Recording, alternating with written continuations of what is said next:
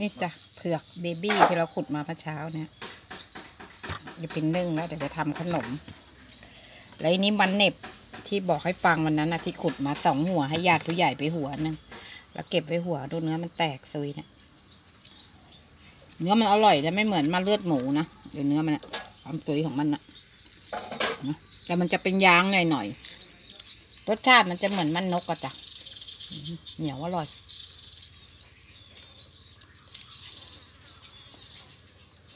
เดี๋ยว พินจะบวชให้กินวันเนี้ยแล้วอันนี้เผือกน้อยเนี่ยเผือกอันนี้มันคือเขาเรียกเผือกตาแดงจ้ะมันไม่ใช่เผือกหอมนะแล้วเนี่ยมันจะเป็นแบบนี้รูปร่างของเขาอะหัวเขาจะกลมๆอย่างเงี้ยสีชมพูแบบเนี้ยเห็นไหมพร้อมที่จะแตกปลูกได้แล้วเห็นไหมนะ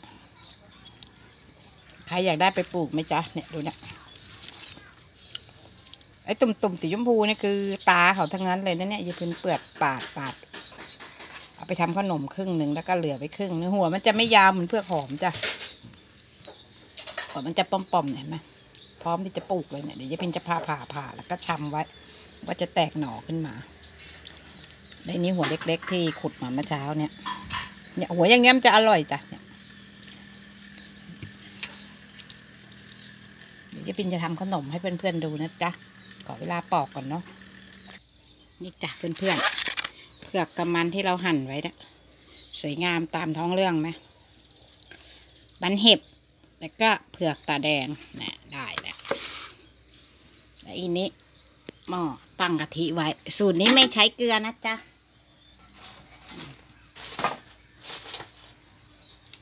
ใช้น้ำตาลปี๊บเนื้อหนึ่งประมาณสี่ร้อยกรัมมะพร้าวคั้นกะทิโลหนึ่งอะมะพร้าวโลงคั้นน้ำกะทิให้ได้โลหนึ่งอะจ้ะ ใช้น้ำตาลปี๊บประมาณ 400 กรัม เดี๋ยวจะพินขอตัวใส่น้ำตาลก่อนนะจ๊ะ หลังจากใส่น้ำตาลปี๊บไปประมาณ 400 กรัมแล้วนี่นี่เดี๋ยวช่วงรอน้ำตาลเดือดเนาะเลยรอน้ำกะทิเดือดแป๊บหนึ่งนะจ๊ะ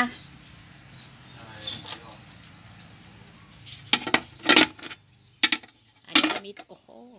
ฝาหม้อหม้อมันเก่าจัดฝาหม้อมันบุบในนี้ไข่เค็มจ้ะ ข่ธรรมดาเราไม่เราใส่ไข่เค็ม เดี๋ยวใส่ไปสักหน่อยหนึ่งก่อนแต่ต้องชิมก่อนเพราะว่าไข่เค็มเราทำเองไงเดี๋ยวเดี๋ยวเคาะให้ดูเนาะว่ามันสวยงามขนาดไหน ถ้าแฟนคลับเจพินจะรู้ว่าเจพินทำไข่เค็มเองเจพินจะเคาะให้ดูนะ ไข่ของเจพินน้ำสวยแค่ไหนไข่เค็มอะกิ๊กไหมจ๊ะเอาสักสี่ลูกเนาะ สี่ลูกจะเค็มไหมป่ะ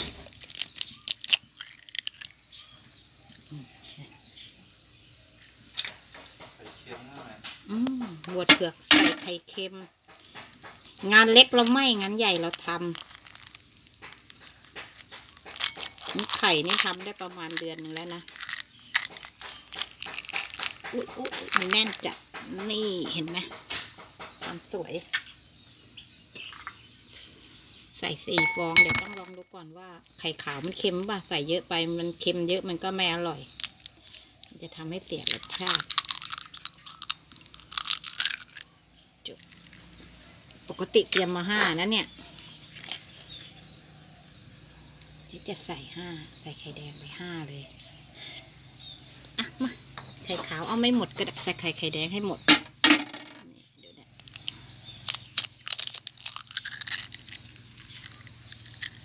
ดูไข่แดง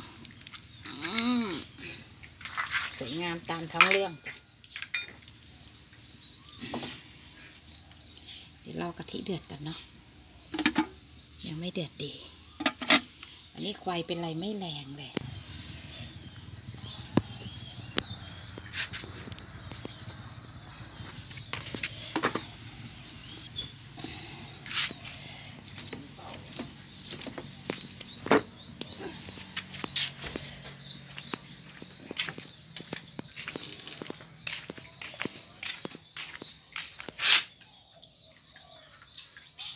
ผักหนามมาเอามาวางไว้แฉะๆอย่างเงี้ยมันก็แตกยอดแล้วเนี่ยเห็นไหมเนี่ยเอาผักหนามมาจากขอนแก่นเนี่ยตัดกิ่งมันมาเนี่ย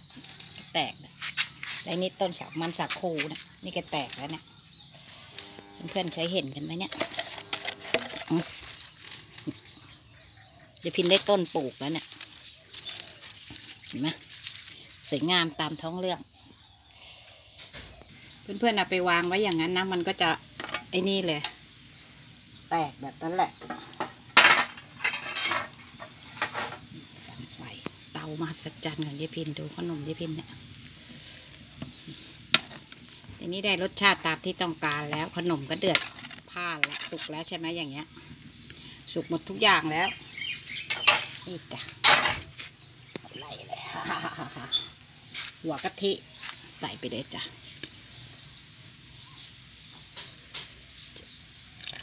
หม้อก็เบี้ยว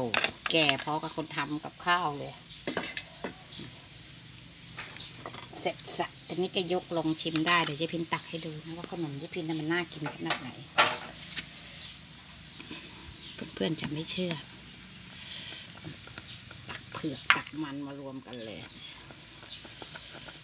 ไข่ขาว ไข่เค็มไข่ขาวมันจะนุ่ม ถ้าเป็นไข่เป็ดธรรมดา มันจะคาวใช่ไหม แต่นี่เราเอาไข่แดงไข่เค็มมา ไข่เป็ด ไข่เค็ม ไข่เป็ดอะมันจะไม่ไม่นั่นเพื่อนดูนะ สุดยอดไหมจ๊ะ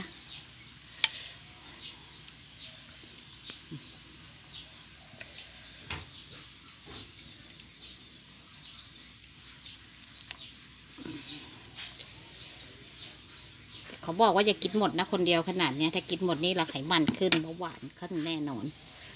จ้ะขนมสูตรยายพิน ยังไงก็ขอจบคลิปนี้ไว้แค่นี้นะจ๊ะ ขอกราบขอบพระคุณมากๆจ้ะ ยังไงก็ช่วยกดไลค์กดแชร์ให้ยายพินบ้างนะจ๊ะ